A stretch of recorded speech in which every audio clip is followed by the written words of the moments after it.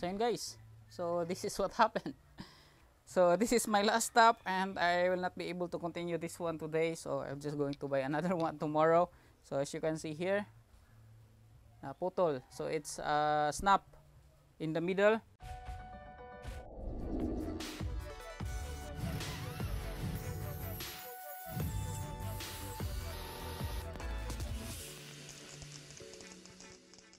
Hey guys, uh, welcome to this uh, messy workshop and uh, welcome back to my channel. Uh, my name is Efren. I'm a designer and I also love building the projects. So into this uh, video, we're going to continue on uh, building this whole uh, 4x8 uh, DIY CNC machine. So as you can see, uh, it's a little bit more likely almost done, I think.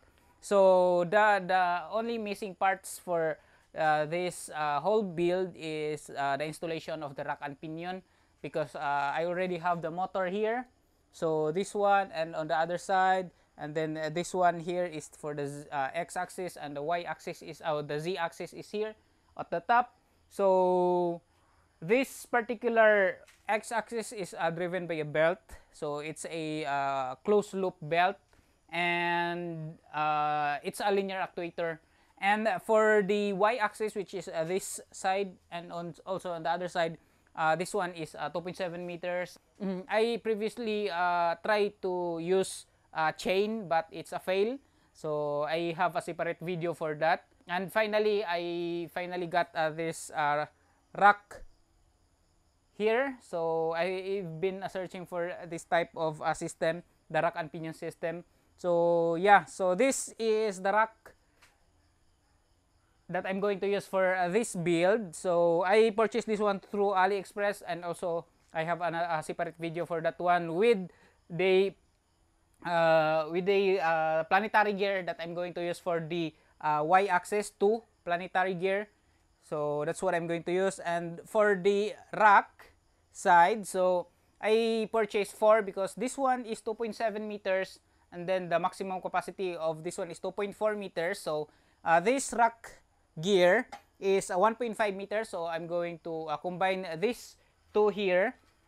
So I have another two on uh, that side so what I'm going to do is uh, I'm just going to cut uh, this one uh, to make this whole length uh, 2.5 meters. So this one is 2 1.5. So I'm going to get another uh, 1 meter for this side. So yeah, so that's what I'm going to do. Yeah, install this uh, rack gear and then still uh, for the rack and pinion, I still have to wait for it to get in my hands. So it's uh, already on my way from China, AliExpress as usual. So after uh, I'm done cutting uh, this uh, rack gear, so I'm going to install it into this uh, system. So I'm going to uh, get the camera and uh, move a little bit closer to this uh, side. So now guys, uh, to be able for me to install this uh, rack gear, uh, because uh, the, the linear rail is uh, this one at the top, and I have no other space to install it directly side uh, beside uh, this uh, linear rail. So what I'm going to do is I'm going to use uh, this angle bar here. So this, so yeah, uh, wait. Mm -hmm. So what I'm going to do in this case, uh, because uh, for this uh, linear block, I use angle bar and it has this uh, uh, the other side of the angle bar or the other side of the uh, uh, yeah so the other side of the angle bar is uh, facing down and I cannot uh, really install this uh, rack gear uh, beside uh, this one because this side of the angle bar for the uh, for the uh, x-axis uh, post is kind of uh, on the way. So what I'm going to do is I uh, bought a 2x2 angle bar 1 4 inch uh, thickness and uh, I'm going to install it uh, like this. So just like this one this one is the the, the same material that I'm uh, using here. So this one is going to be uh, bolted into this uh, main 2x4 frame which is uh, this one. So after I'm go after I bolted this angle bar so I'm just going to put the uh, rack gear here on top of it so that it would be easier for me to just uh, screw and bolt uh, this uh, rack gear into this uh, angle bar. So I think it's uh, uh so I think it's uh, fine because this angle bar is very thick. So I think that's gonna be fine. So for the mechanism and for the installation of the planetary gear with the motor and with the rack with the pinion itself is I'm going to use this angle this this aluminum plate uh, 12 mm for the uh, motor. So this one is the attachment for the motor. So there's a hole for this one to, for the shaft and then uh, four holes for the uh, fixing the motor here. And then I have here this one. This one is an angle bar cut into uh, the size that I need.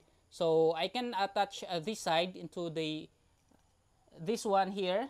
So I'm going to move this one a little bit closer yeah so as you can see it's uh, already uh, ready. So what I'm going to do is uh, this uh, small angle bar or bracket that I've been uh, th that I uh, made. So this one is gonna be welded in this angle bar. So so that uh, this uh, plate here so this uh, plate here uh, that contains the, the the motor and then the the rack uh, the, the motor and then the pinion uh, can pivot in here so I also am going to uh, put uh, some kind of tensioning in here in this side uh, to, towards uh, this plate so that when I put the, the motor here and then the rack and uh, it is uh, going to uh, move into that direction uh, towards uh, this rack here. So there's the teeth here facing at the side. So the rack is going to be somewhat like uh, facing also just like this one uh, as an example like this so it will run forward and backwards. So this one can move like this. So yeah so that's basically the, the, the mechanism for this whole thing. So uh, I'm going to install this one here and then so uh, maybe for the the other side I'm not uh, going to video that one because it would be uh, just the same as uh, this one. Mhm. so I think uh, this one is gonna be uh, will take me long. So let's start building. Peace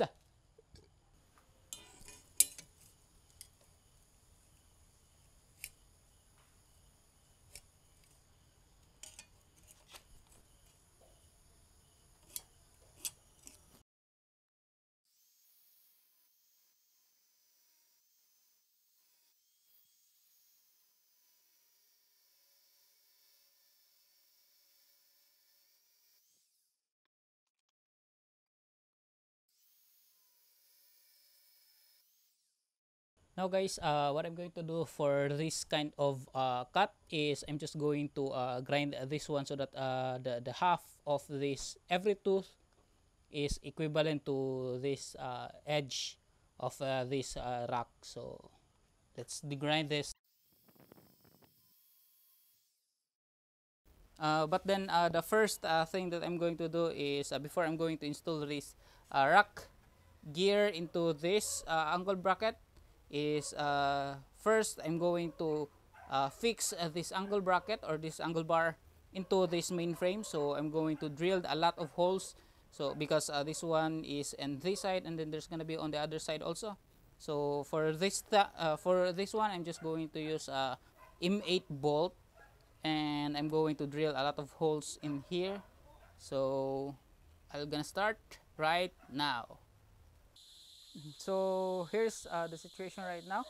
So when I am trying to to detach so when I'm trying to detach uh, this one and try to put some holes in it so I've figured out that uh, I can just weld uh, this one because uh, the the very first uh, reason why I want to install this uh, bracket using bolts is the fact that this bolt here cannot be removed.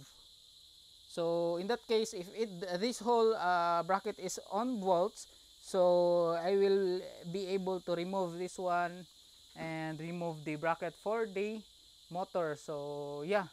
So this one is the bracket for the motor. So this one is going to be something like that and then there's going to be some tension so now I just figure out that this bracket is uh, somewhat uh, 90% on the place so the other the the very last thing that I'm going to do this one is bolt uh, this one. And then this one is uh, I'm going to fully weld uh, this one. And then yeah so basically is because uh, we have a little bit of space at the back. So I just figure it uh, right now that I can push the whole gantry back. So in that case I can now remove this bolt. How easy. So so yeah so that's basically what I'm going to do. So the same way as the other side. So that particular angle bar there I'm just going to uh, install that one uh, at the back or at the other side and just weld this whole thing.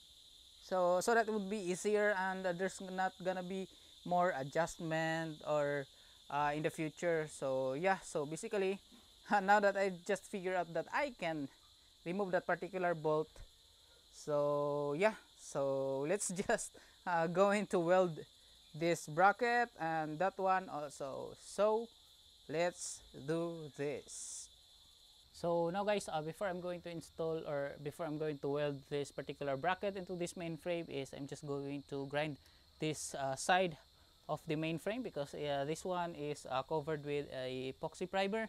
So so that it will be easier for me to weld and uh, the weld will hold uh, directly and fast. So let's do this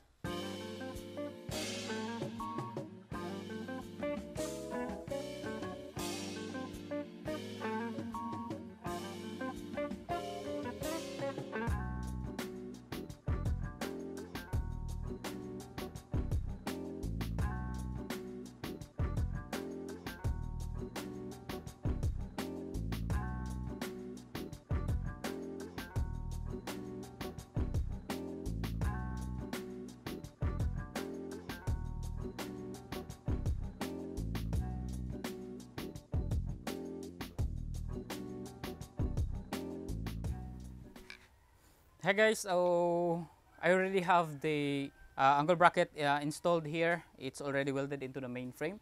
And uh, now I am installing the uh, rack gear. Uh, I already uh, pre-drilled everything. So the only thing that I'm going to do right now or to next is to tap every holes that I have for this one. So as you can see, so temporarily I just clamp this one using the C-clamps. So here, here, here and for the joints. So this is the place where the the connection between two rack gear. So it's here and then I have uh, an offcut of a rack gear here and I use uh, them. So I clamp both uh, this side of the uh, rack gear and also that side. So I clamp it here also. Then for the placement and uh, distance between the uh, angle bracket is I just uh, clamp this one in here. So I just remove the other clamp on the other side. So here's the other clamp and then this uh, a clamp over there but then I already tapped and uh, screwed or bolt that side. So I just remove the uh, clamp. So as you can see here are the bolts. It's already in here. So I already tapped this part but then for this part here is uh, I'm almost done. So I actually just using this uh, M3 uh, M4 uh, top. And this particular M4 I already broke 4 so this is the only top that I have uh, left. So I'm just uh, uh, using this one slowly because it's gonna be hard for me to find another replacement for this one. And I think maybe hoping that this one will last until every holes are being or every holes are all, uh, all top. So yeah so i'm just go, uh, going to continue and i'm just going to show you a little bit of a sneak peek for or a little bit of the process here. So here's it guys. So i i'm going to tap this part here. So first i just uh, put some wd-40 into this top because previously i'm not using this one. That's why i broke four. So here we go. Just slowly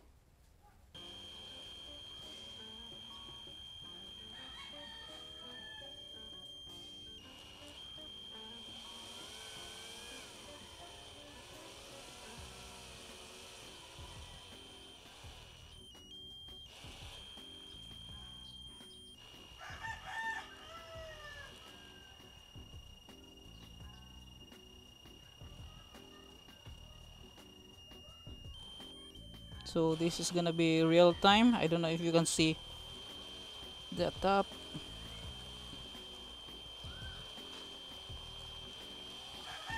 Yan. So it's now I think all the way. Okay. So now I'm just going to retract this one. Mhm. this particular tap is uh, very nice because it's kind of uh, making all the shavings stick into it. It's like magnetic. So yeah so it's very useful. So now I'm going to do the same thing to this side. So WD-40 then slowly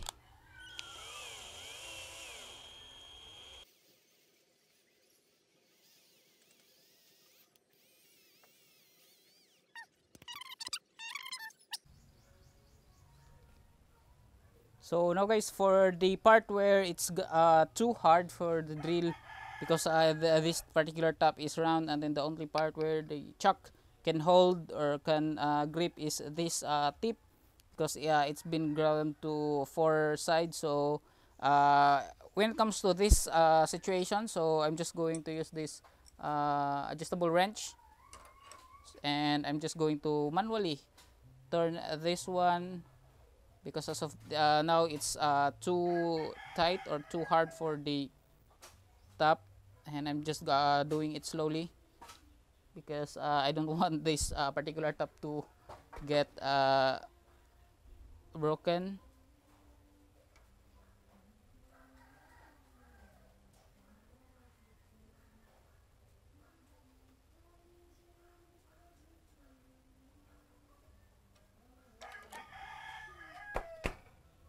oh shit.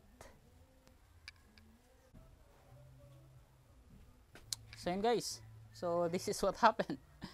So this is my last stop and I will not be able to continue this one today. So I'm just going to buy another one tomorrow. So as you can see here uh, putol. So it's uh, snap in the middle and then the other uh, half of this one is still in the the hole. So I'm going to uh, remove this one using by script. And then I only have one two three four four holes left to to tap. So yeah. So I'm just going to uh, bought another one for tomorrow. So yeah. So I'm going to remove this and then uh, for the other bolts. So I'm just going to tighten everything because I don't have any tap anymore. So yeah. Let's go so now guys I'm just uh, going to start uh, tightening these uh, bolts M4 all the way. So I still have one two three four left. So yeah we'll get uh, back to this tomorrow. So now I'm just going to start in here